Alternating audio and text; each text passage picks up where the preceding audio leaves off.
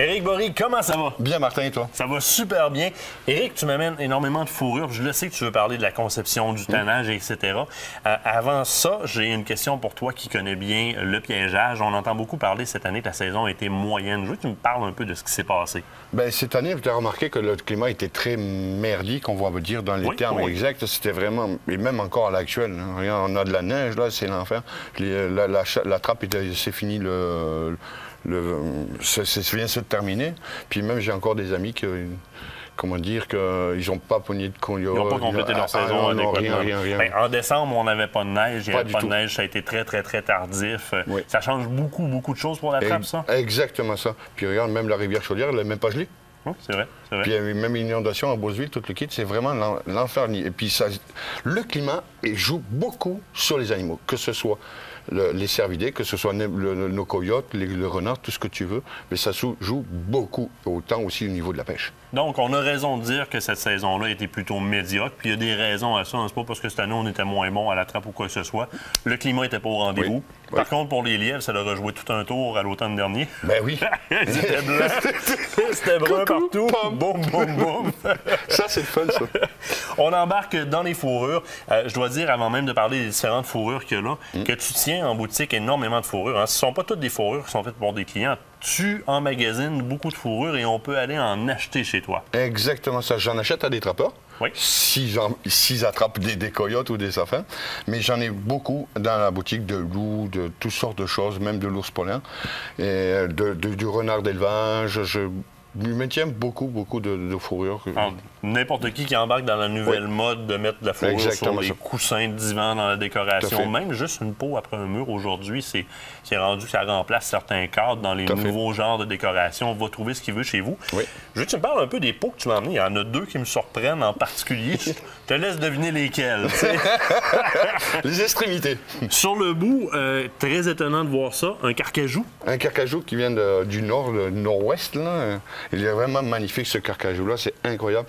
Puis, dans l'avantage dans le carcajou, c'est que, euh, ici, tu vois, le blanc, là, on appelle ça le diamant. Oui, bien la forme, là, vraiment, le, le- le- Exact. ce qu'on appelle la morphologie, si on veut, de sa, sa couleur. Exact. Le carcajou, il a 5-6 poils différents dans les sens différents.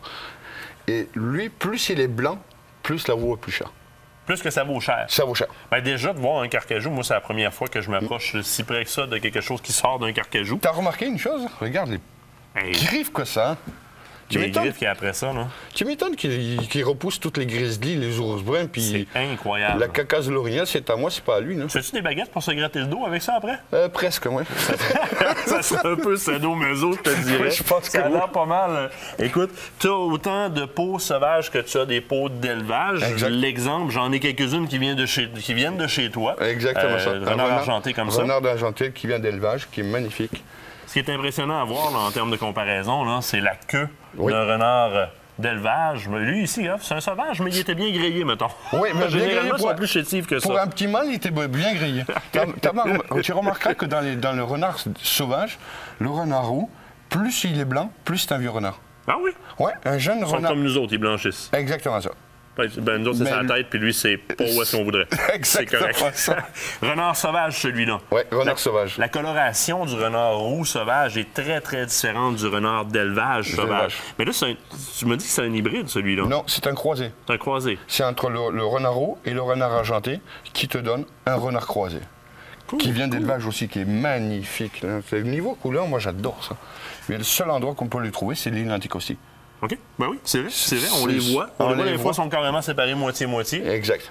Coyote. Coyote. Notre Coyote, C'est moins beau dans le bois, mais rendu en peau comme ça, ça peut être très intéressant. C'est très joli. Moi, j'aime beaucoup cette texture de- de- du coyote, surtout de ces couleurs-là. Tu sais tu savais qu'au Québec, il y en a plus de 19 sous-espèces de, de coyotes? 19 sous-espèces de Ouais. coyotes. Ça veut dire que tu as des colorations qui sont totalement différentes de la. Complètement différentes. Et je l'ai appris par un biologiste, il y a 19 sous-espèces de coyotes.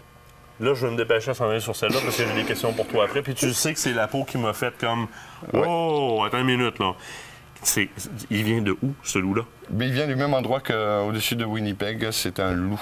Il faut vraiment aller chasser dans ces secteurs-là. hein, Tu puis as vu la qualité, coloration de celui-là, il est magnifique. la qualité de la fourrure, la, la- la coloration, c'est débile. Excusez-moi le terme, mais c'est vraiment débile, débile. Regarde, c'est- je l'ai tanné, puis regarde, c'est c'est- c'est Ben, là-dessus que je veux m'en aller. Euh, Tu me OK. parles de souplesse. On a déjà parlé que tu avais amélioré tes techniques. Tout à fait. Euh, il nous reste une minute. Je veux voir un petit peu comment ça se passe puis comment on doit t'amener les animaux. D'abord, mon animal, là, pour que j'aie le meilleur tannage possible, je te l'amène comment? Ben, tu me l'amènes ou rond si tu sais pas le plumer. Oui. Ou, ou- ou tu sais le plumer, tu le, tu le plumes. Et tu le, si tu veux pas le dégraisser, tu me l'amènes dégraissé. Mais je préfère avoir euh, les peaux fraîches, pas séchées. Parce que sur une peau séchée, tu en as 10 qui vont réagir, il y en a deux qui vont pas y réagir. Puis tu.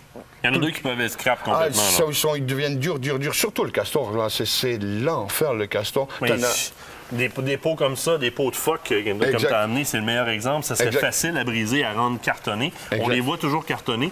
Avec tes nouveaux, tes nouveaux principes de tannage, on- ça donne quelque chose qui est très, très, très souple. Tout à fait. Tu as changé, tes- t'as changé tes techniques, tu es capable de nous livrer des pots comme ça, on te les amène le plus, le plus frais possible? Puis t'as as regardé le chevreuil? Oui, oui. Il- il est oui, où, le chevreuil? oui, il est là. Ah. Rapidement, Regarde, c'est l'exemple parfait, c'est presque une doudou. doudou. C'est presque une doudou, chevreuil d'anticosti. Oui, Hey, exactement c'est vraiment, vraiment, vraiment doux. C'est de la babiche, mais ramolli. Exactement ça. On pourrait faire de la babiche si tu veux. On pourrait faire des, des mocassins avec. Eric, on va chez vous pour aller voir les fourrures, évidemment, qui sont disponibles pour transporter nos animaux. Je te remercie, ça passe très, très vite. Il faut que tu reviennes plus souvent, toi, là. là. Yes, promis.